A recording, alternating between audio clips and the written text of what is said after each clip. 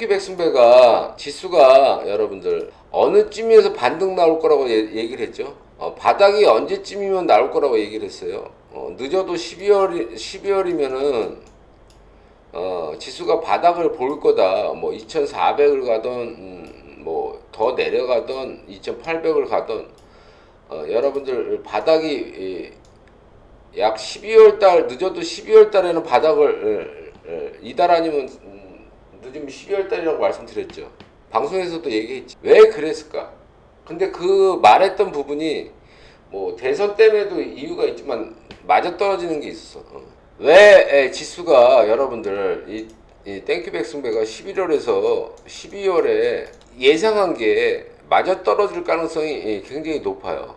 지수 바닥이 왜 그럴까? 어, 지수 바닥이 왜 11월이나 12월 달 중에서 나올 가능성이 늦어도 얘 안에 나올 가능성이 높은 이유가 뭘까? 바닥을 치고 내려왔다가 요번에 가게 되면 V자로 요, 이, 이렇게 갈 가능성 많아요. 이렇게 갈 가능성이 많은 이유가 뭘까요, 여러분들? 대선? 자, 그것도 이유가 돼. 그래야 뭐 바닥을 찍고 빨리 3월 전까지는 원위치 갖다 놔야 되는 부분도 있어. 첫 번째 이유가 그 이유인데 그러려면은 여러분들 지수가 이렇게 떨어졌어. 예를 들어서 2,400이고 어? 2,300이고 2,400이고 2,500이고 얘가 지수가 이렇게 떨어졌어. 어, 그러면 지수를 올리는데 뭐가 있어야 될까요, 여러분들? 지수를 끌어올리려면 뭐가 있어야 돼? 바닥에서 바닥을 찍고 들어 올리려면 뭐가 있어야 돼? 아, 돈이지. 주식 시장으로 돈이 몰려와야 지수를 끌어올리잖아. 코로나 치료제 아니요. 아, 일단 지수를 바닥을 찍고 들어올리려면 뭐가 있어야 돼? 에스터님 말대로 돈이 있어야 되잖아. 사겠다는 사람이 많아야 지수를 끌어당길 거 아니에요. 그러려면 돈이 들어와야 될 거 아니에요. 어? 외국인 자본이든 기관이든 개인이든 돈이 들어와야 돼, 안 들어와야 돼? 이 상황에서 끌어당기려면 돈이 들어와야 돼, 안 들어와야 돼? 예를 들어서 얘가 내려와서 올라가려면 만약에 지수가 떨어졌다가 이렇게 떨어졌다가 이렇게 들어 올리려면은 내려왔다 이렇게 들어 올리려면은 여기서 돈이 들어가 돈이 계속 지속적으로 있어야 돼 없어야 돼. 자, 그 그러면 그 돈이 어디서 들어와야 돼?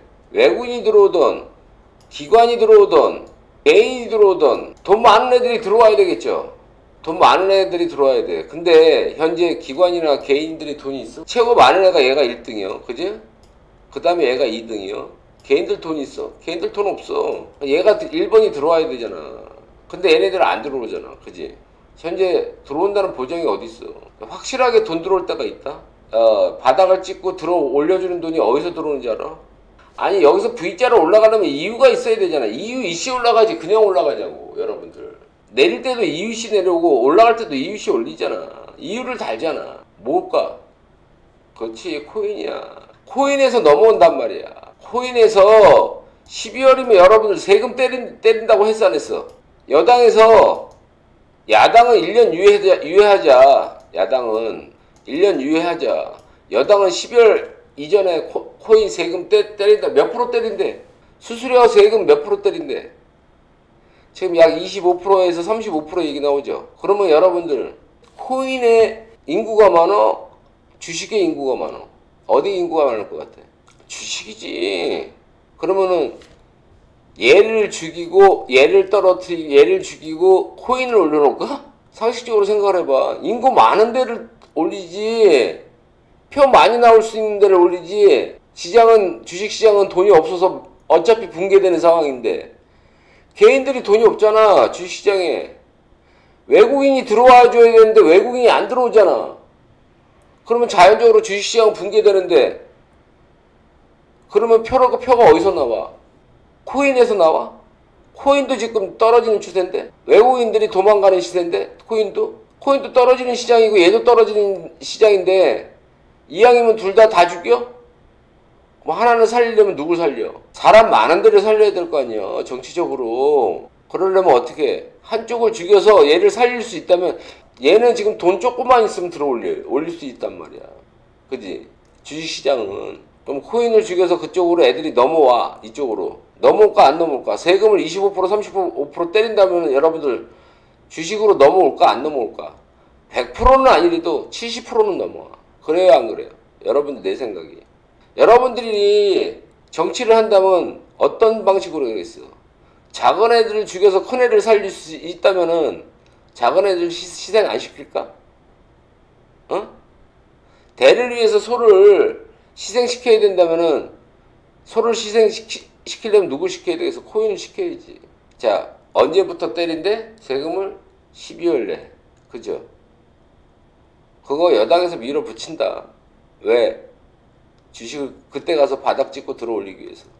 타이밍이 절묘하지. 12월부터 때려 들어 올려줘 12월이나 늦어도 1월 초에 들어 올려줘야 어 1월 달에 12월이나 1월 달에 들어 올려줘야 지수를 다시 3,300 근처에 갖다 놓을 수가 있는 거야. 왜? 대선 전까지 개월 수가 많지가 않기 때문에. 그러면 올리려면 급하게 올려야 되기 때문에 시간적인 여유가 많지 않기 때문에 급등이 나올 수가 있다. 그래서 급등이라는 건 뭐야? V자로 갈 가능성이 있다는 얘기야.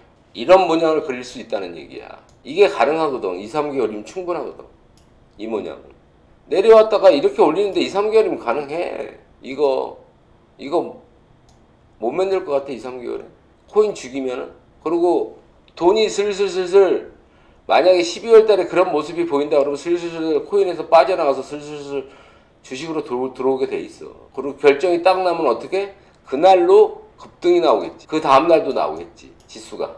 이런 얘기 여러분들 한 번도 못 들어봤지. 앞으로 흐름에 대해서 이렇게 예측하는 사람 있어, 대한민국에? 내가 말하는 게 타당하지 않을 것 같다. 라는, 틀릴 수도 있어. 내가 예측하는 게, 나도 사람인지라, 어, 틀릴 수 있지만, 나는 예, 예상하는 걸 거진 틀려본 적이 없어. 지금 맞아 떨어지잖아. 시장에서 지금 뉴스 떠 얘기하는 부분이 대선하고 다 맞아 떨어지잖아. 나도 100%는 아니요.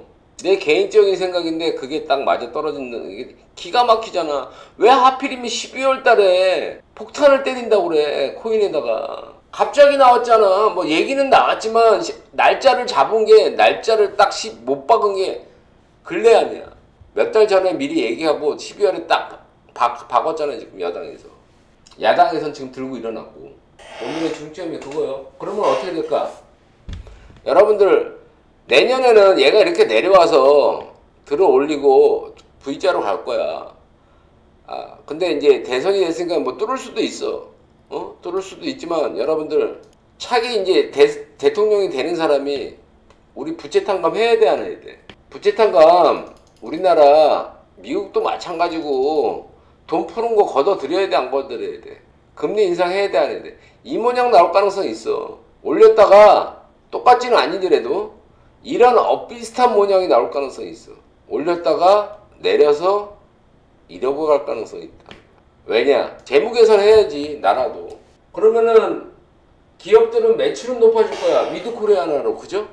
매출은 높은 대신에 마진은 적어져. 그렇죠. 전체적으로 경기가 살아나지만 빌려줬던 정부에서 빌려줬던 돈 걷어 들여야 될 거 아니야. 뭘로? 세금으로. 그리고 금리 인상으로. 정부는 그거 그거 갖고 먹고 살아야 될 거 아니에요. 그럼 기업들은 매출은 일어나나 마진율은 적으니까 폭등장은 안 나오지. 대신에 이 박스권을 왜 거쳐야 돼? 그 충격을 기업들이 흡수하는데 최소한 1, 2년은 1, 2년은 가져야 될 거야. 세금 많이 내야 되고 그죠? 금리 인상된 된 부분에 재무 개선도 얘네들도 같이 움직여줘야지. 그러면 그 안전성을 자리 잡는데 최소한 1년에서 2년은 잡아야 된다. 그러면 여기에서는 박스가 나올 가능성이 있다 없다 가능성이 있다는 거예요. 그 다음에 재무 건정성이고 정부의 돈이 어느 정도 세금이고 이런 부분이 재무 개선이 되, 정부도 개선이 되면은 그때부터는 다시 자리를 잡고 들어 올리겠죠. 지수를 한 번 더. 앞으로 그런 시장이 1, 2년은 일단 끌어당겼다가 박스가 나올 가능, 횡보가, 횡보장이 나올 가능성이 내려와서 횡보가 나올, 이런 모양이 그릴 가능성이 여기서도 나올 가능성이 있다는 거야. 자, 저 구간에서 여러분들은 돈을 많이 딸까? 저런 모양을 만들면은 전문가들 다 죽어. 나? 신나지. 저런 그림만 만들어줘. 떼돈을 번다, 나는. 저런 장에서 이 땡큐는 부지하게 번다. 왜? 저 당시가 내가 방송을 처음 출연할 때야. 저 박스권이 2015년도 이 시장에 들어왔어. 박스 시장에 들어왔다고요, 내가. 이 구간에 돈을 무지하게 땄어. 이 구간에서 무지하게 땄다, 안 땄다, 무지하게 땄어. 어마어마하게 땄어. 나오기만 해. 나는 이 시장. 아주 무지하게 따줄 테니까. 그러지 마시고 여러분들은 딴 애들은 다 죽어. 이, 이 구간 여러분들 따고 있고 따고 있고 거진 다 죽어. 자, 앞으로 미래 시장은 그렇게 흘러갈 가능성이 여러분들 많이 있다는 걸 음, 머리에다 둬. 미국도 마찬가지로 요번에 이제 우리가 먼저 빠지고 걔네들이 내려와서 걔네들도 이렇게 따라서 할 거야 당분간. 당분간 걔네들도 아, 돈 걷어들이는데 어떻게 지, 지수가 빵빵하게 가. 기업들도 남는 게 별로 없는데 이런 모양이 나올 거다 걔네들도 우리가 먼저 나오고 걔네들이 나중에 나오는 거예요 어, 올렸다가 우리 우리 내렸다가 들어올리면 걔네들 내렸다 걔네가 우리를 따라올 거예요 모양을 그런 줄 아시고요 어, 여러분들 시장 대응을 미리 큰 그림을 그리고 소프트웨어적인 거를 여러분들은 어떻게 안에서 찾아야 되는 거예요 큰 그림을 그리면 소프트웨어적인 거는 여러분들 작잖아. 그러니까 여러분들이 알고 싸우는 거하고 모르고 싸우는 거하고 틀리잖아. 그러니까 여러분들 하나부터 열까지 내 방에 있으면서 많이 배워. 그리고 빨리 배우고 싶은 분들, 응? 그리고 공짜니까 완벽하게 못 가르쳐줘 여러분들. 응? 그러니까 완벽하게 배우려면은 아카데, 아카데미 들어. 그리고 골드방에 넘어오고. 응? 여러분들 방송에서 대한민국의 애들보다 항상 전문가 애들보다 내가 빨라. 항상 빨랐어. 7년 방송하면서. 그러니까 말 섞기 싫은 거야. 어. 아셨죠? 어. 이유는 딴 거 없어. 내가 빨라. 시장의 흐름을 빨리 캐치를 한다. 그게 굉장히 중요한 포인트예요, 여러분들. 알았죠? 어, 잘 싸워요. 어, 자, 오늘 얘기한 거 잘 귀담아 듣고 메모해놨다가, 어? 아, 맞나 안 맞나 체크 한번 해보고, 어? 코로나 오는 것도 다 맞췄어 미리 응? 19년도에 얘기했던 부분이요 큰 사건은 미리미리 다 예측하고 있었다는 거요. 자 알고들 알고들 싸워요